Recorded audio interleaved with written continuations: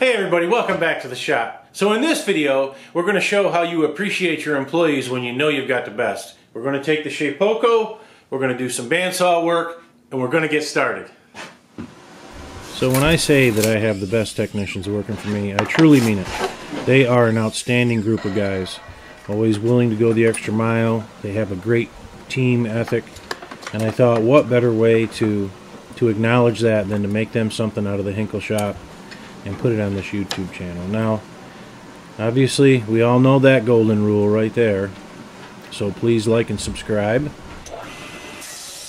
What I'm doing here is taking the edge off of these pieces of wood. Now these things, these wood, this wood came from um, a pallet or a crate. Here we're using the hedgehog to make sure that I have good contact with the fence. The reason I have that uh, level clamped to my fence is to increase the length of it. These boards were a little bit cattywampus, and if you keep one edge along that uh, level until you're done with the cutoff, you'll get one straight edge that you can flip over and cut the other way. Now here, we're completing the glue up with my new Bessey clamps that my wife got me for Christmas. And as always, we're going to use Carveco Maker Plus because it is the best. If you're going to make something for the best texture, you use the best software along with the best CNC. Speaking of best, here's my best friend again. Want to help me with this? Take it off. This. A good helper, but he didn't stick around very long. Now I use several different methods to clamp my stock down to the CNC table. But those little black plastic clamps often, more often than not, get used, and they're from CNC, PWNCNC, I'm sorry. And I'll leave a link to PWNCNC in the description below. That's another little gadget we use from PWNCNC. And it's held in by magnets, and it is an awesome dust collector. Check it out. Now that end mill, that was almost not worth having that end mill do the roughing passes. It only ran for 20 seconds and it was time for a bit change. We're using just a standard 60 degree V-bit to create this. Well, we're making a plaque here for these guys. And there's a mesmerizing effect when you're watching a CNC. Obviously, I've sped this up quite a bit. But when you own one of these things and you're watching it work, it's again, it's mesmerizing. You'll at times you'll stand there and just watch it work for no reason other than it's just fun to watch that thing go around and around and create something from nothing. This time we used three changes. We changed the first time from an eighth inch end mill to the V-bit.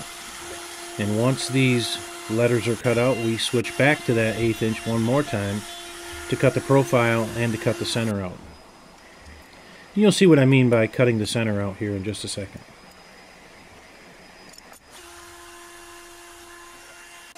That's what I mean by the center.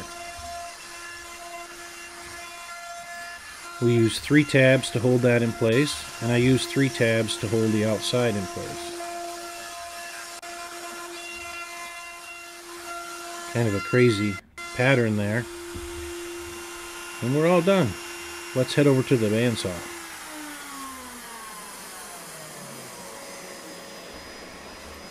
Now as I said, I put in three tabs and when I got to the bandsaw, I couldn't see the tabs. I couldn't see where they actually were. So with kid gloves, being very careful, I cut in directly to the edge of the plaque just to free up large sections so that the blade would be able to get in after I located the tabs that I wanted to cut off. Some people use an orbital tool, a multi-tool to cut these off. I don't. I have a bandsaw. I put it to work.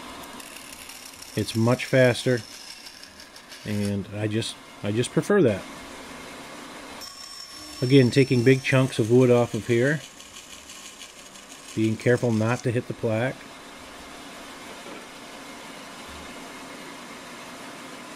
And I believe we have one more tab right here.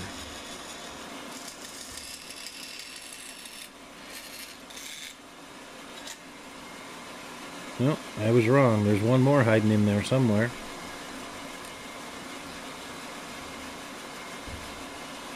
Ah, there it is. Again, being extremely careful not to hit that plaque and the final piece comes loose. I'll give you a little thing. Who's the most important guy? Not really. Those technicians do far more work than I do in a day. Now, some of you might have thought that I was going to put a picture in there like an employee of the month. Not the case. We're going to use a mirror because they're all just as important as each other. One technician is no more important than the other on my team. Quick measurement. Now what I'm going to do is inlay that mirror in the back of this piece. I'm going to do this by hand. I could have done a two-sided carve and used the CNC for this. But sometimes you just have to go back old school to remember what it was like before you had one. And it's fun to do this with a router, really. I didn't put any guides on this. I just laid it out. And after I did all this work with a ruler, I thought to myself, why wouldn't you just put the piece of glass on there and trace around it? So eventually that's what I did.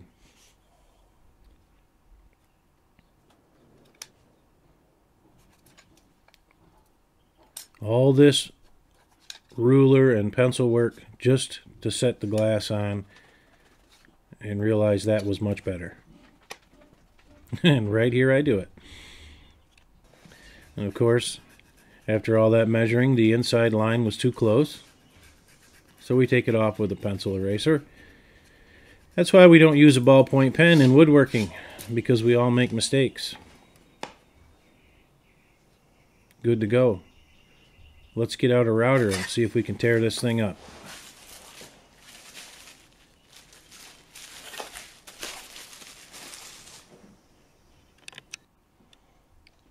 Put some clamps on it to hold it in place.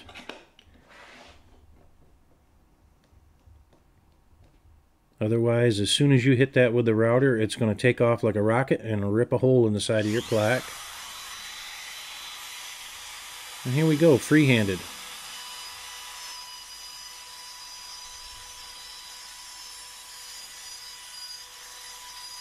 Actually didn't come out too bad doing it free-handed as well.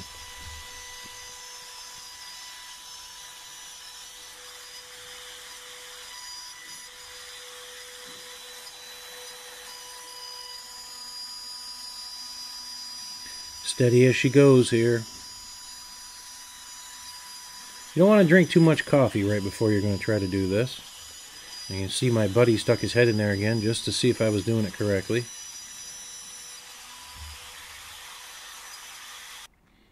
And after you've got it all hogged away, the next thing is cleanup. So you grab the vacuum and just clean up all them sawdust, all that mess and we'll confirm that the hole is big enough here in just a second.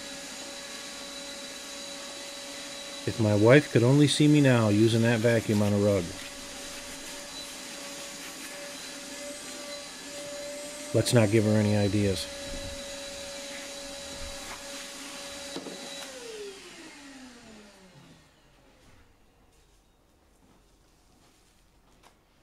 Moment of truth. Hey, it fits. Awesome.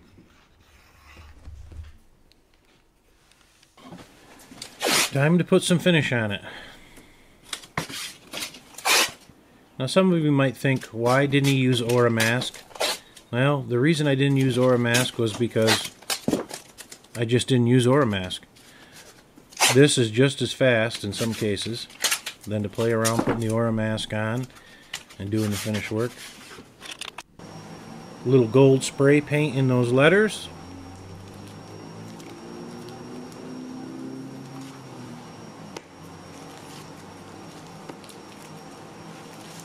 Little fight with the tape to get off your fingers. And then we'll hit it with the sander here to clean off the excess paint. And then it'll be on to the stain work.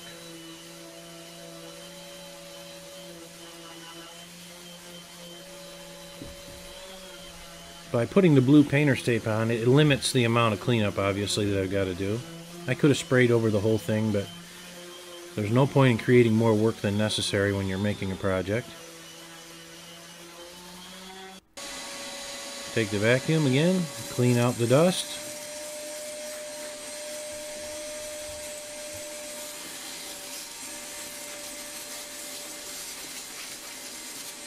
We'll take a rag and we'll wipe it off. Make sure that we've got it all clean and free of dust on the surface. Looking pretty good so far. And then we'll start a little bit of very delicate stain work. When I say delicate, you don't have to be really, really careful. You just don't want to have the stain dripping into those holes or into the letters. But that's what we got right there. Not too shabby.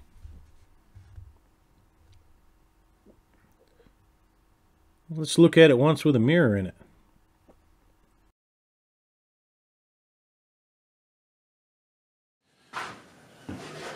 Okay, everybody, there you have it. Another video. Don't forget, I've got the best technicians going out there. I've also got the best YouTube viewers out there. Look in the mirror. You can find out who they are. Anyway, I hope you got something out of the video. I hope you enjoyed the video. As always, give us a like, subscribe, and a share. And we'll catch you on the next one.